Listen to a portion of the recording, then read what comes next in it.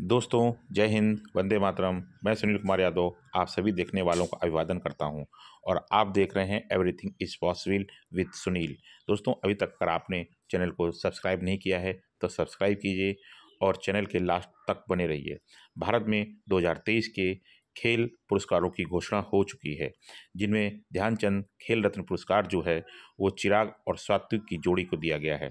चिराग और सात्विक भारत के बैडमिंटन खिलाड़ी हैं और यह एक मशहूर जोड़ी है जिसने कई विश्व प्रतियोगिताओं में भारत के लिए गोल्ड मेडल जीता है। इन खिलाड़ियों के अलावा भारत में अर्जुन खेल रत्न की घोषणा कर दी गई है, अर्जुन पुरस्कारों की घोषणा कर दी गई है। दोस्तों, क्या आप जानते हैं कि ये खेल पुरस्कार किस आधार पर दिए जाते हैं? तो दोस्तों, इसके लिए एक बारह सदस्यीय टीम गठित की जाती है, जिसमें एक उच्च न्यायालय का सेवानिवृत्त न्यायाधीश होता है और कई भारतीय खिलाड़ी शामिल होते हैं।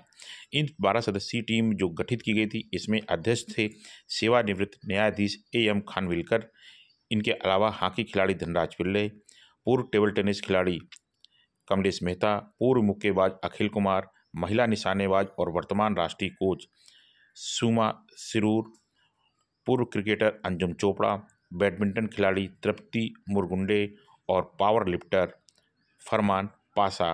इस बारह सदस्यीय टीम के सदस्य थे। ये बारह सदस्यीय टीम ये निर्धारित करती है कि भारत में किन खिलाड़ियों को अर्जुन पुरस्कार दिए जाएँगे, क्योंकि खिलाड़ियों की जो हर खेल संघ होता है, वो अपने अपने खेल संघों के खिलाड़ियों को भेजता है, लेकिन ये सदस्य ही इन खिलाड़ियों का चयन करते हैं, जिसके आधार पर पुरस्कारों की घोषणा होती है।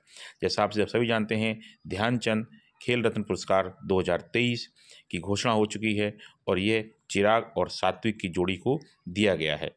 दोस्तों, इसके अलावा भारत में अर्जुन पुरस्कारों की घोषणा हो चुकी है।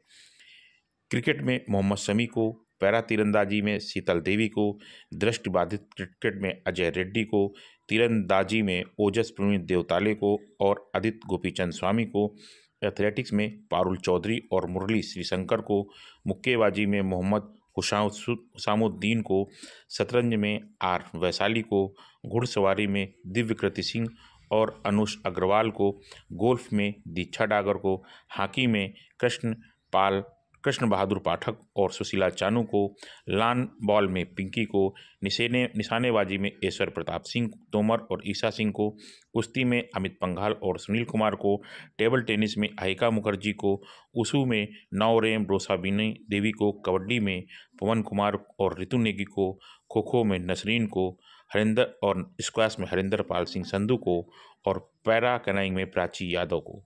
दोस्तों, जो ध्यानचंद खेल रत्न पुरस्कार है, जो भारत का सबसे बड़ा खेल रत्न पुरस्कार होता है, खेल पुरस्कार होता है, वह सात्विक और चिराग शेट्टी को दिया जाएगा।